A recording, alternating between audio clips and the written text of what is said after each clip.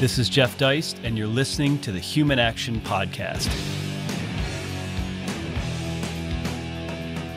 Hey, ladies and gentlemen, thanks so much for joining us, and welcome back once again to the Human Action Podcast, a show we do every week where we are not afraid of books, even the 900 page books. And that's really what the show is all about, is working our way through what we consider important or seminal works in the broad, let's say, Austro-libertarian landscape. And in, by doing so, hopefully encouraging you to read these books, to tackle these books, and also helping you through them as you go. So that's the goal.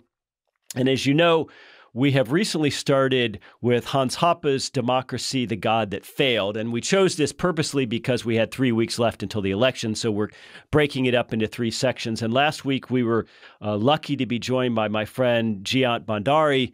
And we had a great talk about uh, things like time preference and civilization and, and capital at the beginning of that book. And in the mid part of this book, where Hoppe gets into uh, the discussion of centralization and trade and immigration, I thought there would be nobody better to invite on the show than Stephan Kinsella, with whom most of you are already familiar, no doubt. Uh, he is a, a patent attorney. Uh, he has written extensively on not just libertarian theory, but I would say more narrowly libertarian legal theory, which is a bit of a different animal. And also, of course, is perhaps best known for his work on IP. And we will link to at least one article of his, which we shall discuss during the show. We will link to his book, Against Intellectual Property, at the Mises.org site. If you haven't read it, and you, or maybe you don't have developed thoughts about IP and um, the digital age. You should read it. You can read it easily over a weekend. And uh, I, I, very much encourage you to do so, regardless of where you fall in that debate. I, my personal feelings are in line with Kinsella on that topic, by the way. So, all that said, Stefan, uh, thanks for joining. Uh, glad to be here, Jeff. Well, I want to ask you before we get into the book. Came out in 2001. Unfortunately, the Mises Institute doesn't own this book. Wish we did. Uh, so, where were you? What were you doing in 2001? Where were you living? How did you become aware of Hoppe or this book? Oh, 2001. That's a good question. Uh, yeah, I remember that because that was uh, the year of 9 11. I was back in Houston. I, I'm from Louisiana.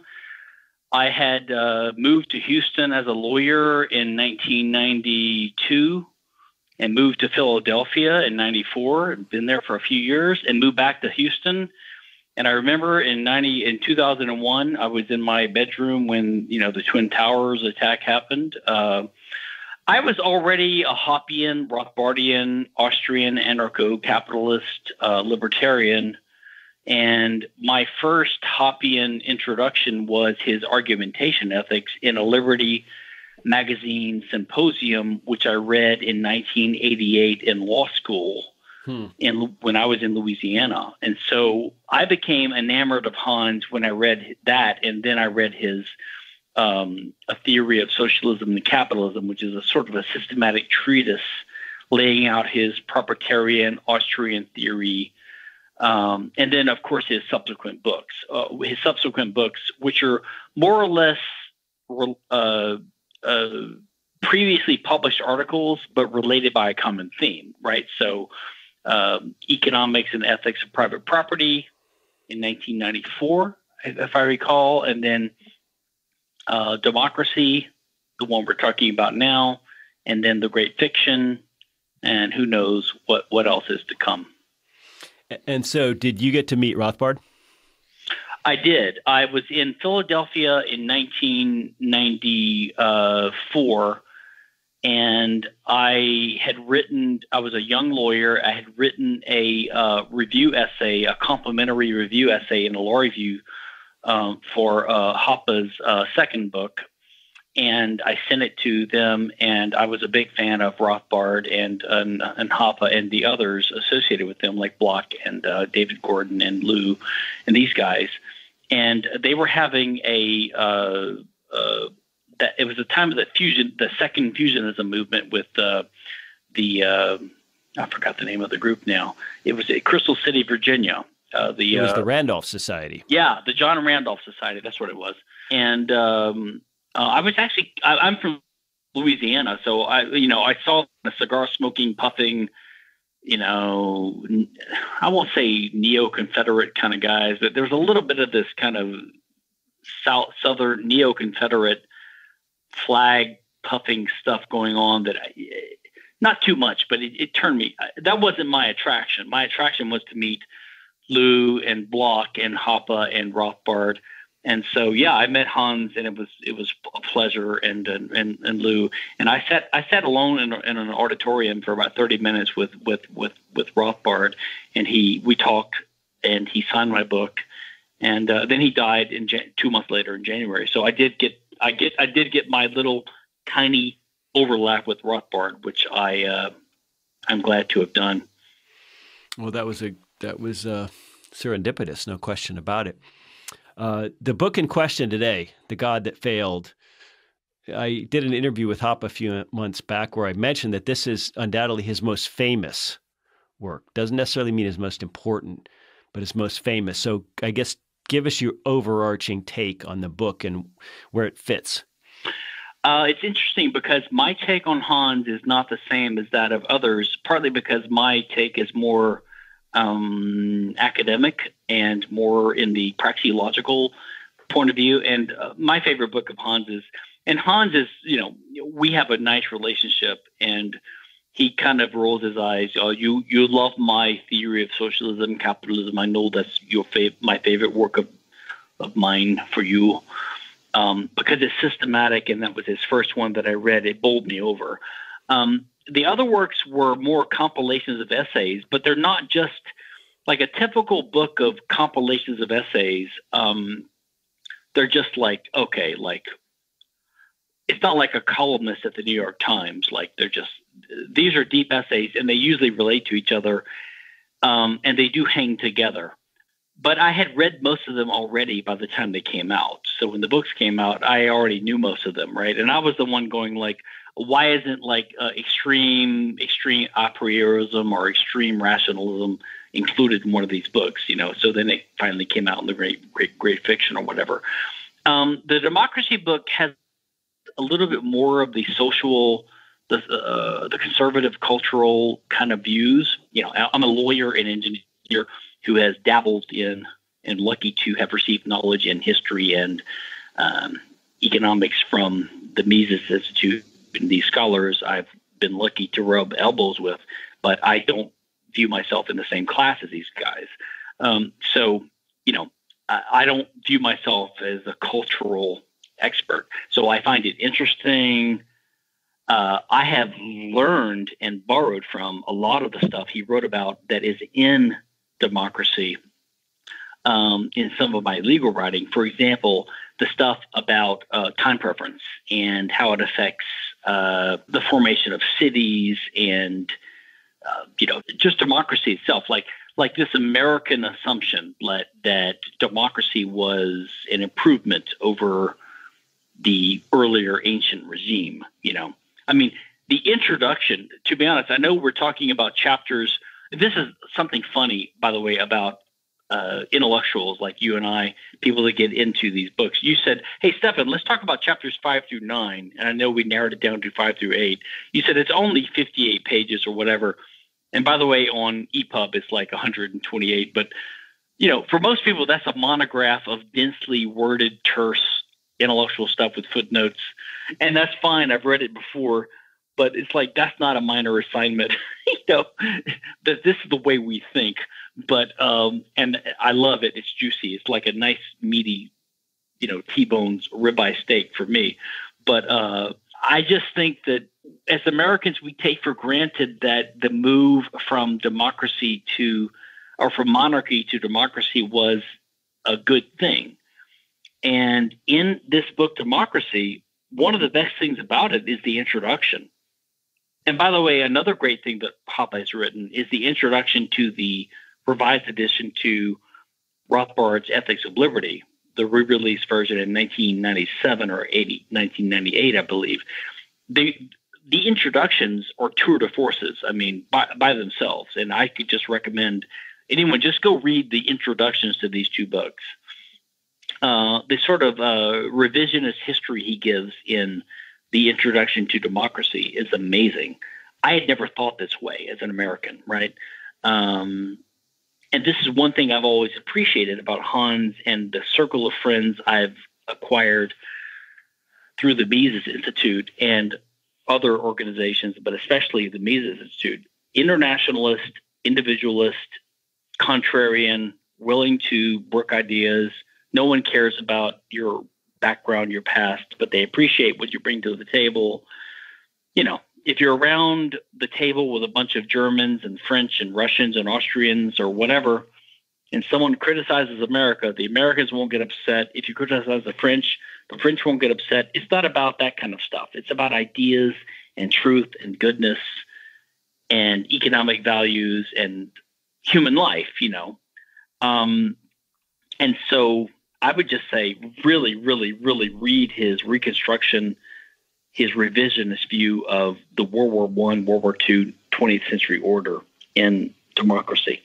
Yeah, it's excellent. I mean, it's it's really fantastic. He also makes a, a defense of extreme a priorism as the method, the proper method of the social sciences in that introduction. So it's definitely a punch in the face from the get go, and and I think it relates to chapter five in certain senses that Hoppe bring immediately brings up the argument that the orthodox view is that the, the centralizing political features of the 20th century across the West are inherently a good thing, and that the old decentralized Europe was a bad thing, and that you know a lot of what his book is about is disabusing us of that. Yeah, I to- I totally agree, and uh, there's a there's a good chapter. I think it's chapter six or five. I think it's chapter six in uh, his first great book uh, in English, A Theory of Socialism and Capitalism, where he he totally explodes the entire positivist, you know, approach to social sciences, and it's just such a fresh approach. But because he came from a socialist lens, you know, I, because I came from nothing, from Louisiana and from the South, and I never was a lefty who became converted. I, I just came from nothing. Uh, I, I always say I never quite trust a lefty, but like Hans is one of the few former lefties that I trust. Maybe I never trust American lefties, former American lefties. Like they they have no excuse. Like if you're from Germany in in that era, you have you have a little yeah. bit of an excuse. Well, the uh, you know chapters five and six both. It's really interesting because he's so methodical. He he lays out a case, for example, if we look at the former Eastern Europe, and he's writing this in 2000, 2001, thereabout. He says, How would we go from a socialist state owned economy or, or property rights regimen or lack of property rights into one that's freer? And, and I was curious rereading this, you know, what you thought about his argument for syndicalism uh, as a as a form of as a method for privatization in a country that never had private property. And he says, well, this, it's a little different in a mixed economy like the U.S., but in but in the former republics of Eastern Europe, you know, here's here would be a way to undo all this. And this is the kind of thing that that only Hoppe really does or talks about. I think Hans has this sort of Teutonic or rationalist style of writing. Plus, he's not a native American or English speaker.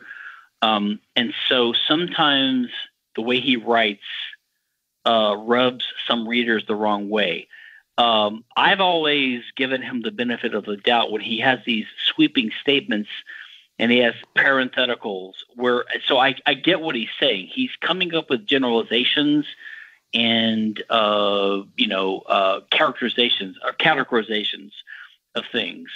Um, everything he says to me makes roughly sense they're not rigorous in the sense that they can be empirically tested, but in a way, that's what we Austrians are saying can't always be done in the social sciences, right? Like uh, th- there's a dualistic or a distinction between what can be empirically tested. Um, he's drawing upon his experiences and, and the experience of the times. This was, I think, written in the probably in the 90s, after you know the fall of Eastern Germany and the Soviet Union and Czech Republic and and the, these countries. So I think I think as a pragmatic matter, um, what he proposes makes rough sense. I like how in his footnotes he has an extensive um, explanation that he's not proposing syndicalism as it's used by the left wing socialists, right? What he means is that in a system as in Eastern Europe and the former Soviet Union, where you can't tell who used to own what, you might as well just give the stuff to the people that are using it now. Something like that, right? Mm-hmm. Uh, except for the people that are the government cronies who have unclean hands. So he mixes together all these sort of um, common sense doctrines which appeal to common sense, intuition, even some common law doctrines. I think they make rough sense. If you take them to be, you know, dictums handed down from on high, then you would say, who is he to say these things? I, but I don't think he means it that way. I think what he means is that there's a way. Look, I believe I couldn't find it in my research for our episode today. I think Rothbard even has said, and Rothbard had different phases in his life. You know, he had some even more leftist sort of uh, um, comments about universities being privatized, uh, handed over to the students and things like that in his earlier days. But you know, I think the idea is that it's going to be messy once you have the government mess things up, and there's no way to have 100% restitution because wealth is destroyed by government action.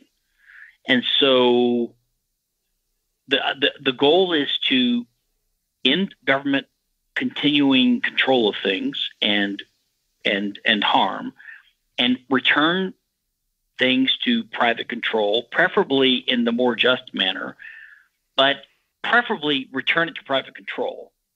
And then um, you know that's better than having it in public control now, I don't see Hoppe really saying that, but I, I, have a feeling he would agree with that. And I think Rothbard leans towards that in some of his writings too. Well, and I was also struck, given the current debate over socialism, which is very much, I think, in vogue among younger people today. I wonder how many casual readers this book had ever even come across, eh, eh, you know, his explication of the three just ways of acquiring property, which he argues socialism negates. So get, you know, forget AI, forget Hayekian knowledge. There, there are deeper reasons to oppose socialism based on justice principles. And so Hoppe says, well, there's three ways to justly acquire property. You have homesteading, you have production, which is mixing labor and, and resources, and then you have contract, or what I guess we would call trade. And I know that you've talked about that in your own work about contract, but I, I'm not sure many people have ever really even thought that. Well, I think this is actually uh, this this is to me one of the parts of the genius of Hoppe. Like, if you get the fundamentals straight, then the things you say, you carefully think about them, they have implications for things later on that you'd never contemplated, right? So Hans was really talking about the sources of wealth. Okay. He also talks about the sources of property rights in chapters one and two of Theory of Socialism and Capitalism. But in the passage, uh, I don't have it highlighted in front of me, but in one of the chapters five through eight that you and I are talking about today, he talks about the sources of wealth. And as you say, he talks about um, you can have initial acquisition of an unowned resource, or you can have what he calls production, right? Or you can have contract, right, which is an exchange. So what I find interesting here is that he was obviously formulating these ideas on his own and when he started to rebel against the leftist ideas in Germany when he was a young grad student rebelling from the leftist ideas of his teachers and things like that and starting to come up with a proto praxeology on his own before he had encountered Rothbard and Mises. And then when he encountered Rothbard and Mises, he realized already a body of knowledge uh, like what he was stumbling onto on his own, right? And so here's what I think is important. He's talking about the sources of wealth. Okay, so but wealth is a subjective phenomenon according to Austrian economics, right? So you can acquire wealth, but what does that mean? Right, to acquire wealth or to achieve wealth. So if you are an actor, human body, uh, that means a human actor in the world. And so a human actor possesses or controls a body. We don't need to get into metaphysics or religion or all that to talk about the soul, but everyone can agree that a human actor is a person identified with a body and we act, we have control over our body, and we see these resources in the world, and we can identify that there are some resources that are unowned. No one's used them yet, and that we need to use these resources as means of action, right? So that's the Mises praxeology, the means of action. So we start acquiring or appropriating or using these resources. So that's original appropriation. So that becomes a source of wealth, right? If you acquire something.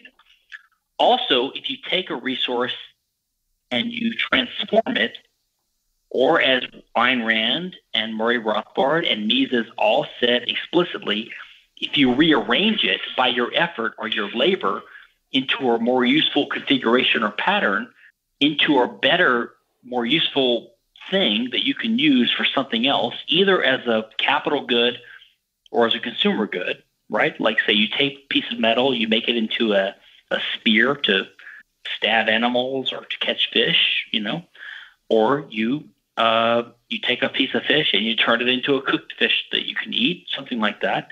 You've actually rearranged this this item of material property in the world into something that's now a consumer good that you can enjoy and consume.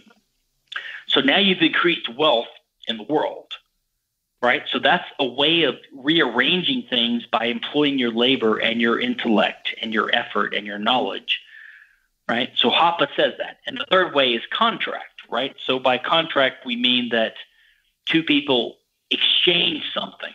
One does something for the other. And that could be an exchange of title or a service, something like that. And each one is ex ante better off. They expect to be better off after the trade, right? So those are the three ways of acquiring wealth.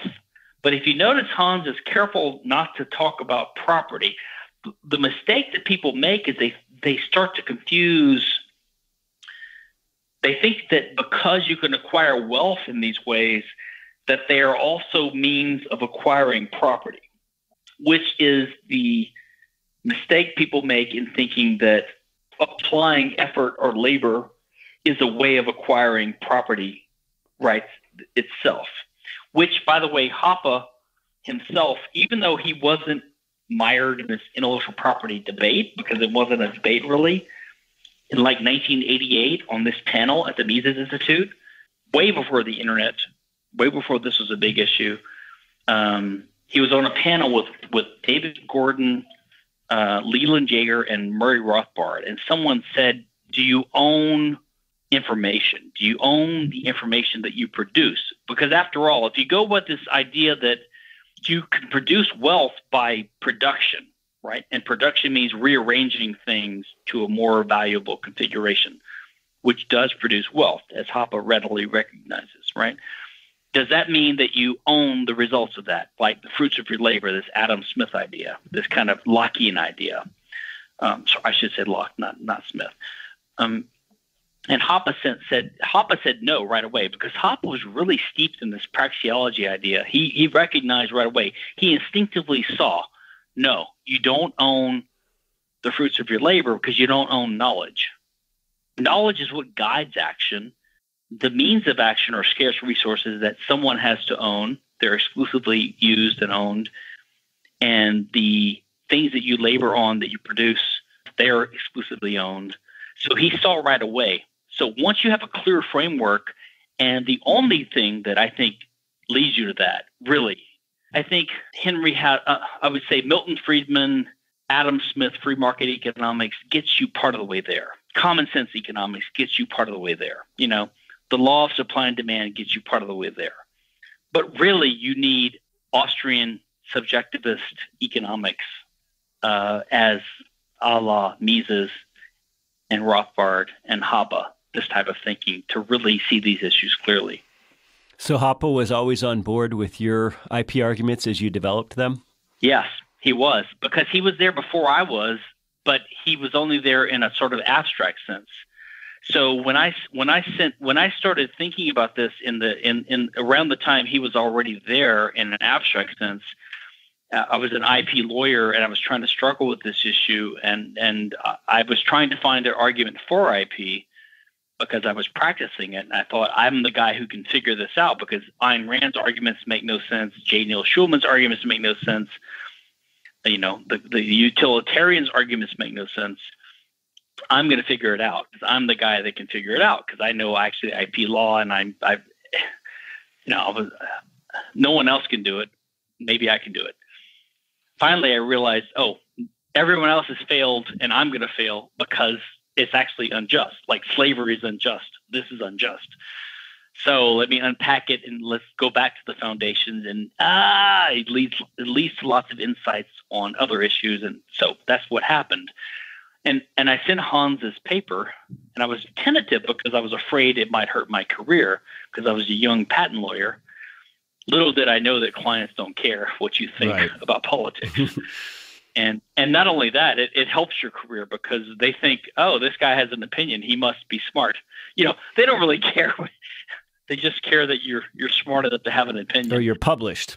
Yeah exactly. They, they don't they don't they don't care what you say. They're not going to read the footnotes. Um, so uh, no. So i sent hans this paper. It was some mealy mouth title like uh, uh, an exploration of the arguments for and against you know uh, industrial property. And he says, I think you should just call it the against intellectual property.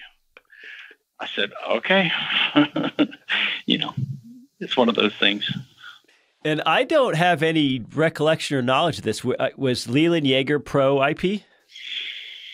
I I don't recall actually. Uh, I'm going to say I'm going to suspect he was. My my guess is he was pro IP because he never said anything about it. If you ever come across a, a fairly widely published libertarian who thinks he's a radical, who is quiet about it, they're I, I give them a little credit for being for being a little bit humble enough to keep their mouth shut. But that means they're usually pro IP, but they don't want to say anything. Well, I that's my guess usually. You know, Leland Yeager lived right up until just a few years ago, and I used to see him walking around downtown Auburn. He lived downtown with a caretaker in his later years, but he lived in his own place until the very end. And and um, you know, I always enjoy his writing immensely, but I just suspect on this um, that that he wouldn't share your opinion. Um, well, I had a fun. I have, I have, one funny story about Leland. It's a little bit of a sidetrack, but Yeager. I've met him a few times at, at Mises. I always liked the guy. But I had this, uh, I had an article in Liberty Magazine about IP.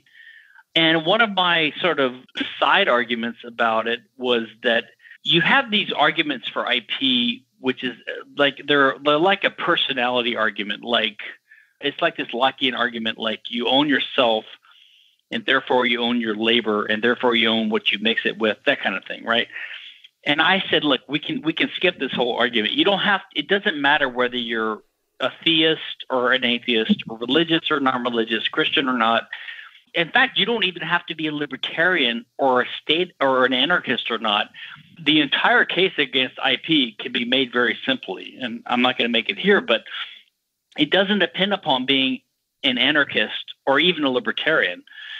You don't even have to take a, a stance on whether we have a soul or not. But this self ownership idea is at the root of this of this Lockean argument that you own yourself. And I said, listen, the self is this kind of concept that everyone has different thoughts on. It's kind of amorphous and vague. The law is about the use of force against tangible objects. It's a tangible thing itself. Force is a tangible thing. So, what we really object to is when someone wants to point a, a spear or shoot a bullet into our body, which is a physical thing, so it really always comes down to who owns your body. And the answer the libertarian gives is I own my body. Now, you know, an atheist libertarian doesn't need to say that there's a soul there. He just needs to say there's a person there, a legal person. And a, a religious person would say there's a soul there. That's fine. We can all get along. So I had something like that in my article, and Leland Yeager wrote a letter to the editor, and he, he he accused me of all. He thought I was a Christian or something. Like he accused me of all kinds of crazy things, like I thought there was a body and a soul owner, and I said, Leland, Leland, I'm an atheist like you are. like you don't even get what I'm saying.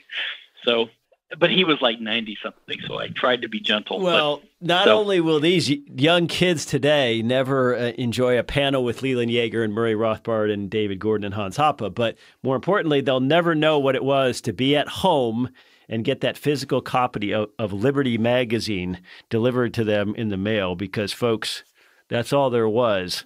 And um, th- those were, I remember those receiving that very fondly. And it always had some sort of Randian or objectivist article, almost without exception. My three were Reason, and before Reason got fuzzy, and then Liberty, and then the Rothbard Rockwell report, of course. For yeah, that was my law school reading for a while. Well, I want to spend a good chunk of time on these chapters seven and eight, okay. which are about free immigration and forced integration is seven and, and free trade is eight. And really they dovetail because in chapter eight, Hoppe makes the argument for saying, you know, you know, um, restricted immigration is not the same as protectionism against goods. Those are two different things. And I think you and I are are largely in agreement and Hoppian on the immigration question. There's been a lot of rancor over the years. And about a year or two ago, I did a roundtable where I summarized Hoppe's views on immigration, among others. But so let's get into it. Let's talk about um, you know the the the arguments for and against free immigration, and he lays out the the uh, former at the outset of chapter seven. So here's my take. I'm an anarchist. I'm a libertarian. Uh, I think uh, Hans is an anarchist, libertarian. I think you are. I have trouble endorsing anything the federal government does, like the INS. So that's that's one thing, right? I think what Hoppe has done, it, what he's done in the field of immigration, is similar to what he did with the field of democracy and monarchy. What he said was, don't be so quick to assume that the move from monarchy to democracy was uh, an unalloyed uh, it was progress, right? There were some things about that move that were bad, right? Democracy has lots of negative attributes from the point of view of liberty, right? It's obvious, right? It's all over his book. Uh, time preference, um, the, the, incentive structure of the leaders, the war of all against all, all kinds of things about democracy, which are pretty obvious if you think about it and if you just open your eyes. And he has clearer and then so so now everyone says, "Oh, Hoppe is a monarchist." No, Hans is not a monarchist. He's he has explicit things. I'm not a monarchist, and this is not a brief for monarchy.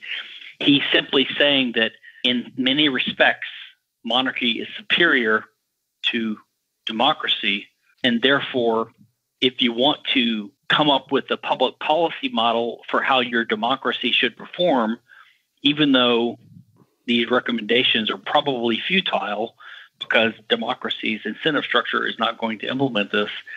This is what you should be in favor of.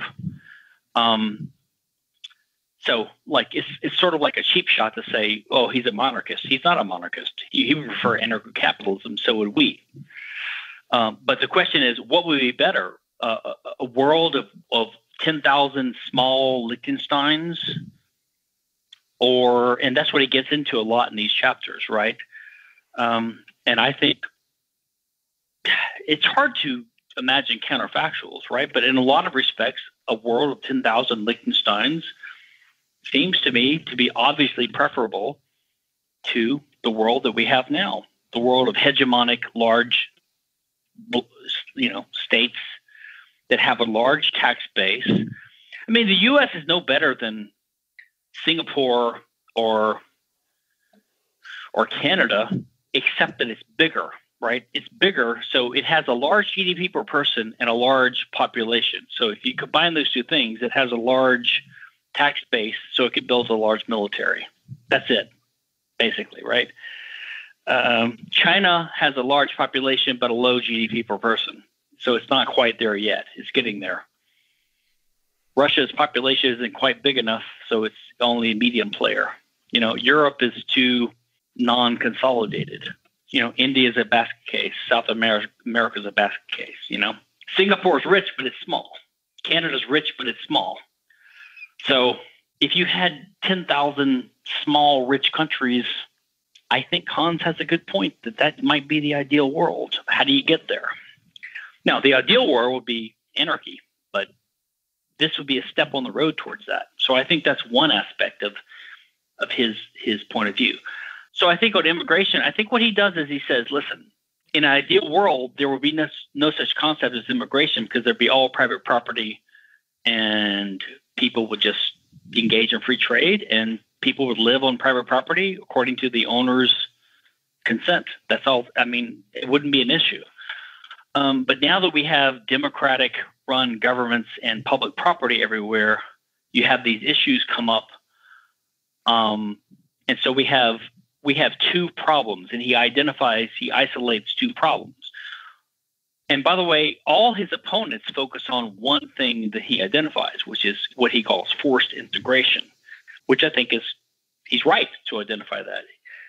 So, forced integration is when you have a mass state like we have in the US, let's say 350 million people, public roads, public property, welfare state, uh, anti discrimination laws, you know, the whole host of things that we have now, then you have forced integration. You have people being forced to support each other, live together, communities living in, in ethnic groups and different types of people being forced to live together that maybe naturally wouldn't live together right away so quickly, whatever.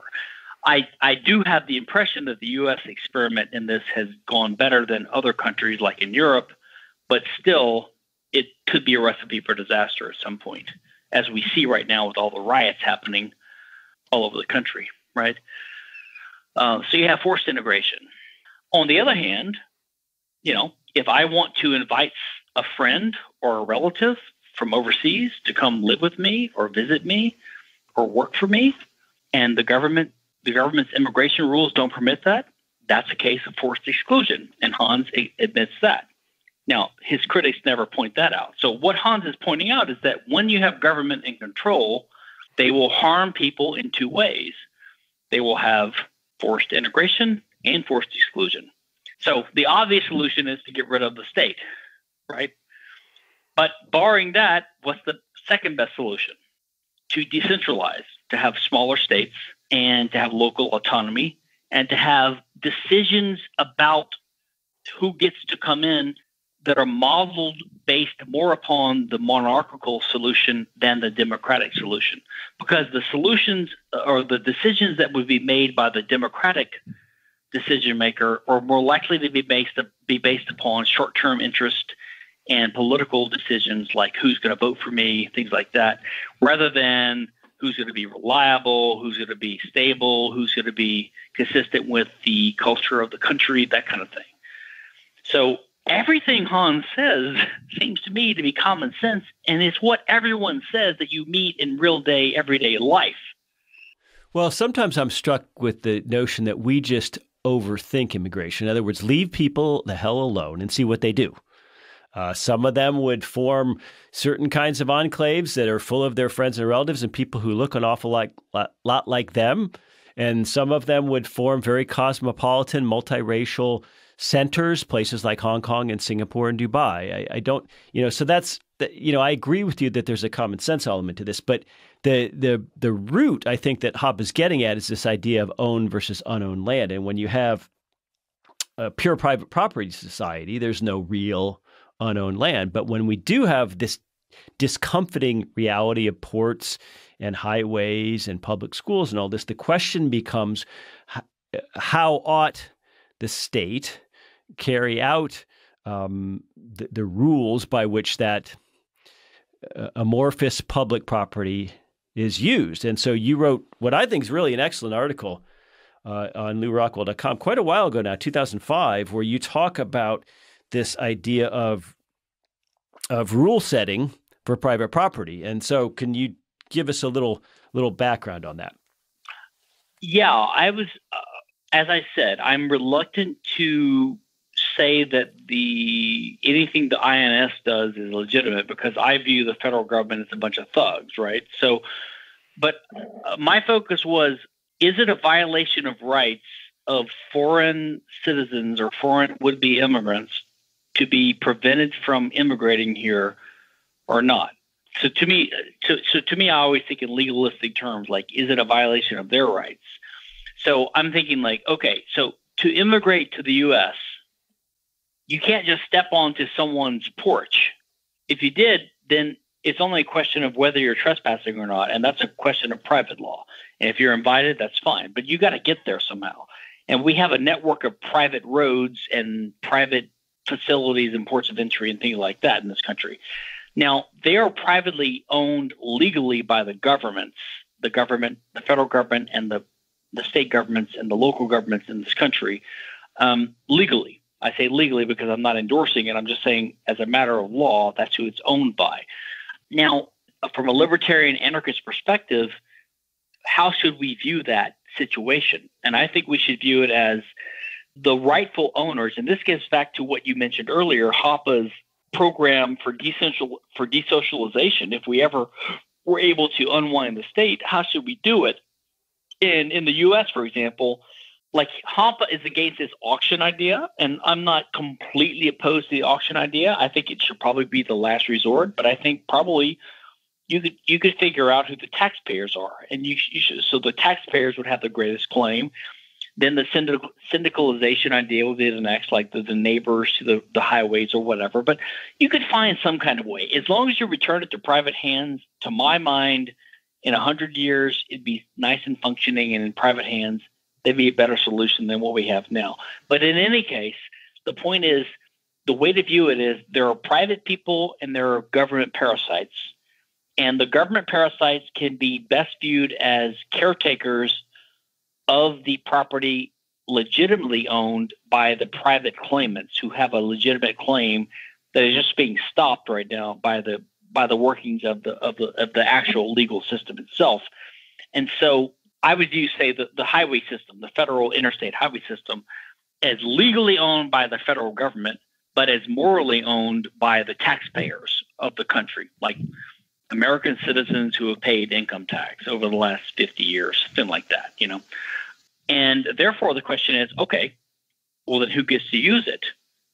I would say the rules should be determined in accordance with the wishes of the owners, and the owners are the real owners, and that is the taxpayers. So they would say, since we're the citizens, we're living here, at least let us use the highways that we paid for so we can drive to work and go get our groceries and things like that.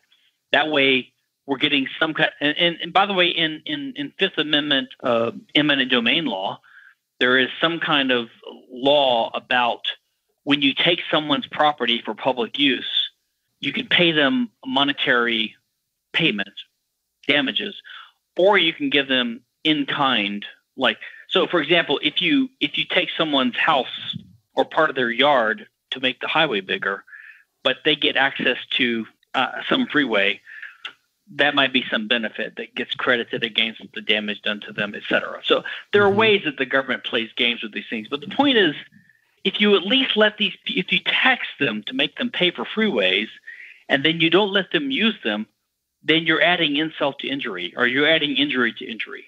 So at least let them use the freeways. Okay. So then the question is, well, should you let foreign immigrants from Mexico and Honduras and Ukraine use the freeways too for free? Well, I don't know. Would most people, would most citizens that are the owners of the roads want them to use them? I don't know. Maybe, maybe so, maybe not. Probably not. Maybe they want them to pay a fee. But the point is, the point is that these foreigners are not taxpayers and they are not owners of the roads. And so, if the federal government, as an imaginary caretaker of the roads for the true owners, which are American taxpayers, put up a barrier and says Mexican citizens are not entitled to use these roads, it doesn't violate their rights because they don't own the roads. American citizens might have a claim to own the roads, okay, but foreigners don't. Therefore, that would be one way that immigration could be severely impeded simply by denying foreigners access to public property. If they could find a way to get to someone's private property, like fly a helicopter into Bill Gates' estate, and Bill Gates wants a bunch of, you know, Costa Ricans to land on his property tomorrow, hey, he can do what he wants. So to my mind, it was just a thought experiment about how you don't have a right to immigrate if it if it involves using public property that someone else owns. And from the point of view of the immigrant, the outsider, it doesn't matter whether the owner is the U.S. federal government or the U.S. taxpayer that's the real claimant, because you don't own it. You don't have a claim. So that was sort of my kind of legal cute argument about trying to say that it's not a big holocaust if America doesn't allow unlimited immigration into its borders and allow unlimited use of its public property by foreigners who don't have a claim on these resources. Right, and of course, Walter Block went back and forth with you and Hoppe on this more more than a decade ago in the JLS. But one thing Walter says, well, you know, we ought to view all this public property, so called, as just virgin, unowned territory, and anybody can go in and homestead it. So Antifa can just take over Chaz in downtown Seattle, and that's great. And Walter has actually argued that. But Hoppe rejoins this argument, and I mentioned this in my interview with him, as saying, you know, his argument that we ought to view net taxpayers as the real owners of so-called public property is really one that applies in this context of of immigration, not not in necessarily a broader conceptual context. That's interesting. I think that um, yeah, Walter's argument never made sense to me with respect to obviously transformed property, like say uh, uh, university buildings or government buildings. Um, I would not be averse to the argument that you could treat them as if they're unowned, but it's a it's a legal fiction then, and then you could say, okay, so our, the way we're going to privatize these things is treat them as if they're unowned and then let whoever is the first claimant get them. But then you're just then that's just your method of auction in a sense. And then Hoppe's already opposed auction as a method of doing that. Um, I think it would be better to say, look, imagine a, a clear, pristine case. You own a house. The government takes it from you, and they pay you two hundred thousand dollars, and it's worth two hundred thousand. Let's say. So you've already been compensated by the taxpayers. So I would say in that case, the taxpayers have a claim on the house. The house was owned by you. You don't own it anymore because you've been compensated already.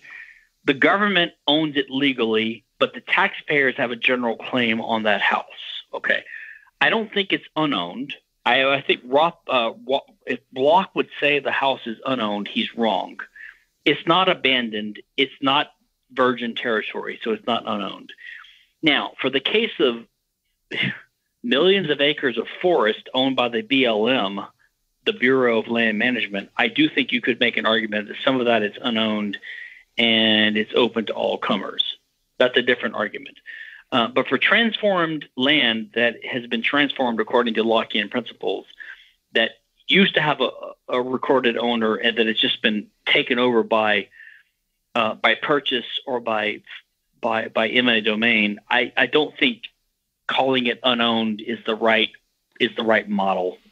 Well, you know what's interesting to me though is that just as Hoppe offers at least a conceptual idea for how to desocialize a country through um, the syndicalism or, or whatever, he also says, "Hey, here, you know, the way we can require a would-be immigrant to bear the full cost of his or her impact on public ownership is simply to use the insurance process, some kind of surety bond. And and what's always struck me, uh, uh, you know, there's a lot of Beltway libertarians who really dislike Hoppe because of immigration. They think it, you know, it has to be motivated or animated by racism or something like that, which it isn't. But is you know what what's interesting to me is this seems much more humane than the process they propose, which is open borders, but for health and safety and criminal checks. Well, Hoppe is saying, look, you know, the Catholic Charities of America or a family member or the ACLU or whoever could simply sponsor an immigrant by posting a bond, and that bond goes away at some point. And, and during their stay prior to becoming a citizen, um, it simply covers the taxpayer for the the full cost of anything uh, if they get in criminal activity, if they get in you know or problems. So in other words, instead of going through this immigration rigmarole, uh, you could post a bond and and uh, somebody could fly here tomorrow. Well, yeah, and that gets close to the idea of just buying citizenship, which is basically, you know, just pay half a million dollars and just buy your citizenship, which honestly the U.S. probably could do. But then you're getting into the idea that that presupposes the right of the federal government to limit immigration and to sell it off, and who's the money going to go to? Um, I guess theoretically, if yeah, as a practical matter, that probably would be a good solution. To be honest, like I personally think that more population in the world and in the U.S. is better. I think uh, division of labor, more geniuses, um, you know, is better overall. And if I, I think if we had a policy where we said we're going to open the borders, you know, okay, you could have some controls for criminal records and you know whatever, you know, but just prove that you're self-sufficient. Have a bond, at least as a way in. Like get some corporation to sponsor you. Um, yeah it, wouldn't be the libertarian ideal, but it would be so much better than we have now. And uh, probably the number of immigrants that could come in would be 10 times what's permissible now. So it would be an it would be something unobjectionable to everyone, basically, except for people that want, uh, you know, the people that want us to have lower population, the zero growth people.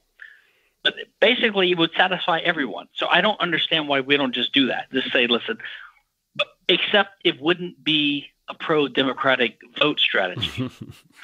that's hey man, that's hey, look, thing. this is this is Hoppe the humanitarian pragmatist. That's what yeah. people need to understand. Um, but okay, so the the free trade question, you know, Hoppe says again, this isn't the same as protectionism because when you have goods crossing borders, you have the sender and the receiver agreeing ahead of time, whereas you know individual humans can just migrate; they possess a will. So immigration, like trade, ought to be invited. So give us your take on his general argument in chapter eight. I think that's a great argument. He has a I, I don't know if I have time to find it really quickly here. He has a great argument. Um, he says something like, without a government, there's really no distinction between free trade and free immigration, right? Because um, they both happen naturally, right? And they both benefit. Uh, they're not the same thing, but they uh, free trade. The argument for free, free, free trade is not is is uneasy to understand. Um, but once you have a government, then the movement of people has political consequences, right? Because they become subjects, they can cause harm. They are they're animals. They have a will, and they can then under democracy like we have now, they can start voting. In fact, that that's of course why the Democrats want to they want Puerto Rico and DC as a state. That's why they want to have amnesty for the 11 million or whatever it is million people that are dreamers. Obviously, they're not. These are not humanitarians. They they just want Democrat votes, right? It's obvious to me. There are political implications for these people, uh, and they change the culture too. Um, I, there's nothing wrong with culture changing. It always will change over time, but for the state to intentionally, half-assedly, arbitrarily engineer a change in the culture for some other goal, like as a side effect, I don't see why anyone would want that to happen, you know? Which is what we've done, like with the Great Society program. I mean, look what we've done to American culture just because of of that, and because of the what we've done to the education system. I mean, all these things have resulted in amazing cultural shifts, and and even the defense and and uh, uh, the the wars. Uh, even inflation, even inflation. People don't think about this, right? I mean, I think uh, is it can uh, the guy that wrote the Gilligan book for you guys, uh, brilliant guy, Cantor. Paul Cantor. Yeah, Paul Cantor. About uh, Paul Mann and, and uh, uh, Mann and inflation. inflation mm-hmm. has affected the character of this country in unbelievable ways. We don't really have hyperinflation yet, but we have inflation that's affected the character of this country. Uh, it's a monetary thing. It's boring to most people, but so we've we've affected the character of the country. Um, well, so almost out of time. I want to wrap it up with a question about Hoppephobia, which a term I believe coined by Rothbard. But look, there are personalities and individuals involved in all of these philosophical and academic debates, and there's also a sociology to any putative movement. So I think what happens is when Hoppe says, here's my argument why monarchy may be preferable to democracy, but I'm not a monarch. Here's my argument for potentially restricting immigration in society as it is, but I'm not someone who actually believes in borders or government controls or passports. Uh, you know, when he says these things, I think a lot of his critics just say, I don't believe you. Right. That that's that's really what we're getting at. And so he doesn't do himself any favors when he uses terms like bums right. in the book yeah. to describe undesirable. So you know, just comment on Hoppephobia. Yeah, it reminds me of like Trump in the debate last night. I don't know if you could stand to watch it. Or no, no, it was it was recently. Uh, he he was uh, in the town hall. He said, "I'm not a white supremacist," and the woman just went on. I mean, what can he say? I mean, how how many times can you deny that you beat your wife? You know, um, you're a white guy. You say I'm the least racist person in the room, and everyone laughs. It's like, uh, what can I say? I'm not a racist. you know, if you're not a racist, what can you say if you're accused of it? You know. Um, so the funny thing was, so uh, the the time I came across that term Hoppephobia was this. Uh, I had it in front of me because uh, I came across it when we were I was revising or revisiting these things it was this article Hoppephobia in I think it was in Liberty magazine by Rothbard, and it was a response to Lomasky. Now Loren Lomasky, I think he's still alive. He's he's this older philosopher up in Minnesota. Are you familiar with him? I know the name he wrote this book, uh, Persons' Rights in the Moral Community, which I really enjoyed back in the 90s or 80s whenever I read it. Um, he looks like Lysander Spooner. He's got this long beard. He, so he looks like like a crazy anarchist type, you know, like the guy on a Kansas album or something, you know. And uh, but for some, but I think he's just a minarchist, right? So he wrote this article attacking Hans for being an untrammeled anarchist. and so wait, let me see what's in here. Yeah. So he wrote this thing. This is this is Rothbard. Rothbard at his best. So this is Rothbard's response to Lomasky attacking Hoppe. He says he's shocked and stunned that Hoppe is a defender of not only capitalism, but it's no less than a manifesto for untrammeled anarchism. And so here's Rothbard. Well, heavens to Betsy, anarchism, one wonders where Lomasky has been for the last 20 years. Perhaps the knowledge has not yet penetrated the fastnesses of Minnesota, but anarchism has been a vibrant part of libertarian dialogue for a long time, as most readers of Liberty well know. No, but so this article is called Hoppephobia, and the, the part that, uh, so it says this, he says, the Lomasky Review is an interesting example of what is getting to be a fairly common phenomenon Hoppephobia. Although he is an amiable man personally, Hoppe's written work seems to have the remarkable capacity to send some readers up the wall, blood pressure soaring, muttering, and chewing the carpet. I love that line, muttering and chewing the carpet. And it's true. I've known Hoppe since 94. Dude, he's the sweetest guy. He's hugged me. Uh, he's he's wonderful you know Hans. He's great. And people think he's this ogre. I don't get it. He, he loves liberty. He came to liberty from leftism. He came to Austrianism from mainstream economics. Uh, he's de- dedicated his life. He came to America to follow Rothbard, for God's sake. He went to UNLV. This wasn't a prestigious position. You know what I mean? Yeah. Um, so the guy has dedicated his life to liberty he's achieved amazing insights, which to me, he's my number one thinker. I mean, he's up there with Rothbard, Mises, and that's about it for me. So, well, I think we need to leave it at that.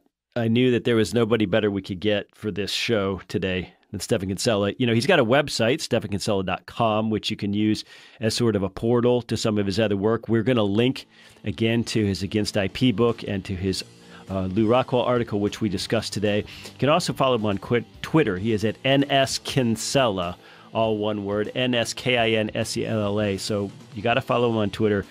Uh, keep up with his stuff. He's really one of the more interesting and erudite people uh, uh, in our environment. So, Stephan, I want to thank you a lot for your time today. And, ladies and gentlemen, have a great weekend.